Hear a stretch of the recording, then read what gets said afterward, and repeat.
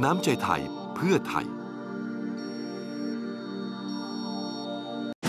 แม้ปัจจุบันนี้ทุกครัวเรือนจะมีเตาแก๊สใช้กันอย่างแพร่หลาย แต่เมื่อเกิดสถานการณ์ข้าวของแพง เตาอั้งโล่ก็ได้กลับมาได้รับความนิยมอีกครั้งครับ ซึ่งคุณธนพลเจ้าของร้านเตาอั้งโล่ที่จังหวัดนครปฐมแห่งนี้ อยากถ่ายทอดขั้นตอนวิธีทำเตาอั้งโล่ลงในโลกโซเชียลเน็ตเวิร์กเพื่อที่อยากจะให้เยาวชนรุ่นหลัง ได้รู้จักกับเตาชนิดนี้ด้วยครับ ผมมาดูแล้วว่าทุกวันเนี้ย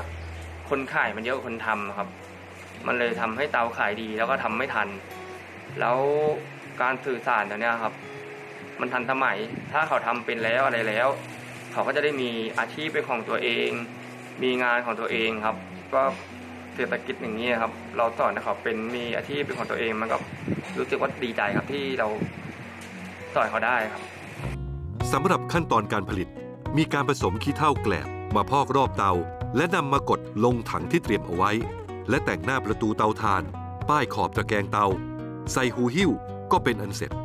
ซึ่งเตาที่จังหวัดนครปฐมเป็นเตาอั้งโลดที่คนนิยมซื้อไปใช้ในครัวเรือน เนื่องจากเป็นดินเหนียวที่มีความทนทาน เตาหนึ่งลูกใช้งานเป็นปีๆครับ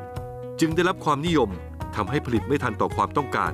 โดยใช้เวลาฝึกทำเตาเพียงแค่ 1-2 วันก็ทำได้แล้ว สามารถนำรายได้มาสร้างอาชีพ และเป็นมรดกภูมิปัญญาชาวบ้านอีกด้วยครับ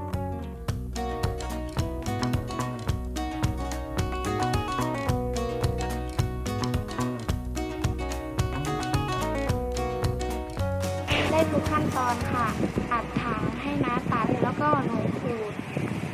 ป้ายปูน ซึ่งเป็นขั้นตอนสุดท้ายที่หนูถนัดมากที่สุดค่ะ ใครที่ว่าอยากทำอะผมเปิดสอนให้ สอนให้ฟรีๆไม่มีค่าใช้จ่ายครับ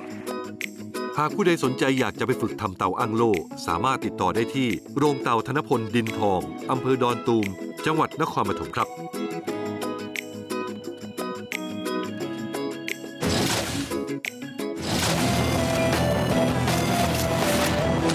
เรื่องจริงผ่านจอ